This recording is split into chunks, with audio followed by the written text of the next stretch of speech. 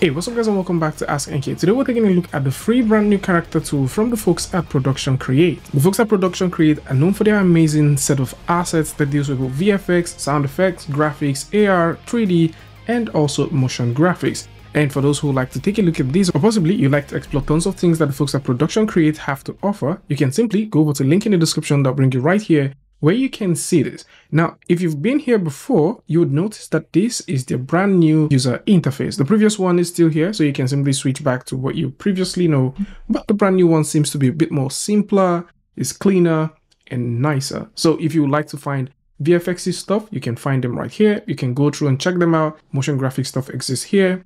Music, sound effects, and graphics. And for those looking for 3D and AR stuff, you can simply go over to the 3D section and you'll be able to find a ton of 3D stuff. So whether you're looking for 3D models, materials, environment, textures, you're definitely going to find something pretty cool here. Now for the brand new character tool, you'll be able to find that if you go over to the tool section where you find character builder.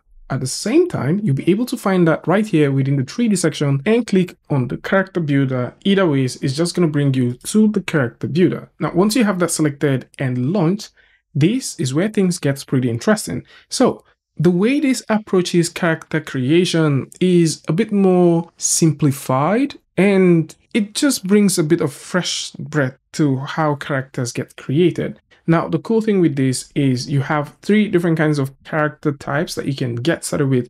And depending on what you select, it changes the overall outcome of what you get to play with underneath, as this comes with a ton of presets that you can explore. So first off, we have the male athletic, and then we've got the female athletic, and we've got the skeletal warrior. So you can select any of these ones to get started. Now, something else which is also pretty interesting is once we have this selected and we go over to the modular one, you notice that we've got stuff. If we change our outfit type to coverall, you notice it automatically changes. So any decision you make on the top influences everything that you get to find underneath. We can check out the same thing with the skeletal warrior. So once we have the dirty one, you notice that this is what we've got, open helmet. You notice we've got a couple of helmet types. If we go ahead and select the fancy helmet, you would notice that we've got a different kind of helmet type. So they do have like sub preset or should I say subcategories to every single selection that you do. And the same thing exists for the female one as well. So depending on what you get to select, you'll definitely notice that these changes every other thing underneath and these characters look pretty clean. So if we go back to the male one and let's say we would like to create a modular character, you can have that selected. We can go over to the headwear and we can select any of the headwears that we want. And in this case, we're just simply going to say possibly we're going to go with the military helmet. That looks cool and we can possibly change that to something like the SWAT one and that looks you know pretty cool as well. Actually let's just make this tactical so that makes more sense. So down to the shirt we can now make changes for the shirt or should i call that the torso? And in this case if we choose a t-shirt you notice we'll have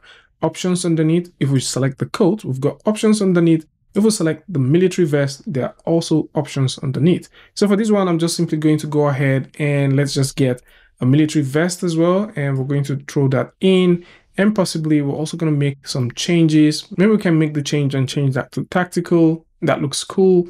And we can also go all the way down and make some other changes too. And for the legs, we can choose what we want. So maybe we would like to go ahead and take a look at some military pants and that looks that looks really cool. Might want to get the tactical one since we already started off with the tactical one right here. And this doesn't stop you from making changes to, you know, the overall look. You can mix and match, you know, create what you think best fits for your character. In this case, if you like to have, you know, if you want your character to have a bare fit, you can also choose to do that and you can just go ahead and have fun with it. You notice that when we switched from this, that the feet simply disappears. So this just works based on what you've got selected. And in terms of the skin tone, we've got three major types of skin tone. We've got the light, the medium chocolate, and the dark chocolate. So depending on what your pick is, you can simply go ahead and have that selected. And once you have these things ready, you can now proceed to download this. Now, this is where things become a bit interesting. So for the download, you've got four different types of downloads that exist. The Unreal Pack, which comes with the first level of detail, so you can simply go ahead and explore that. Then we've got the FBX. For the FBX, there are two types, the DirectX and the OpenGL. This is specifically for Blender, while this is specifically for Maya. And all of these do come in three different level of details. So depending on what you want, you can select that. The same thing can be said for the GLB file as well, and also for the Blender file. So if you like to use the FBX across various DCC tools, you can simply have that selected. However, if you just want to download a Blender file that you can use, then you can simply have that selected and hit the download button. Now, if you would like to see this animate prior to downloading this, this is also something that is possible. So if you go over to the animation section, you can click on the drop down and add your animation. You possibly will notice that I've got another one in bracket called yours jumping down. And this is because we initially loaded up a different animation altogether. By default, the animation that you have is the casual idle, which is pretty impressive. So you can have that and you can actually download with that one. Now, for those who are thinking about how can I throw in my own animation, possibly you would like to use your own animation to drive the character. This is possible. So in this case, what we did was go over to Mixamo, found the motion that we want, downloaded that motion without skin.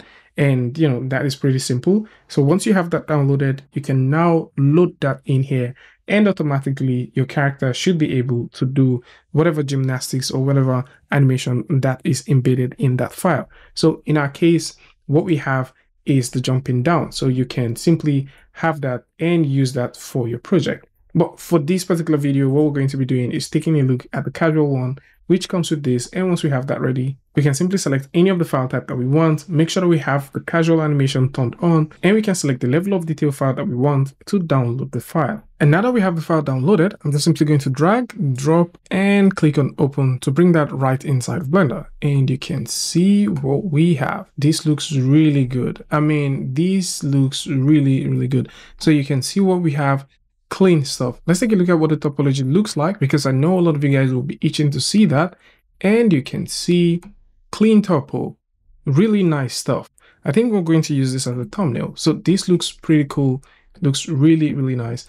And for the animation, because we already baked in the animation earlier, we can press the playback button and that works. And this is running really, really nice. You can see what we've got here. Nice stuff. So if you're looking for another cool tool that you can use to create animations and, you know, characters, then you can simply rely on this and start doing that. Already, we did cover a couple of tools that you can use for real-time character animation and I think this just adds up to the list of the ones that you can now consider, especially with the fact that this produces very clean topology and everything looks pretty nice. Of course, this is all thanks to the fact that most of these have been pre-baked and made ready. And of course, there are tons of things that are yet to come to this tool as this is continuously in development as the year proceeds. This is the first iteration of this character tool, and hopefully in subsequent weeks or even months, we'll get to see a much more bigger library of things that you'll be able to do with it and the way this looks, this is only destined to become a much more nicer tool in the future. So this is it. For those who are thinking about exploring this, you can now simply come through and check this out. And of course, for pricing, a lot of you guys might be wondering,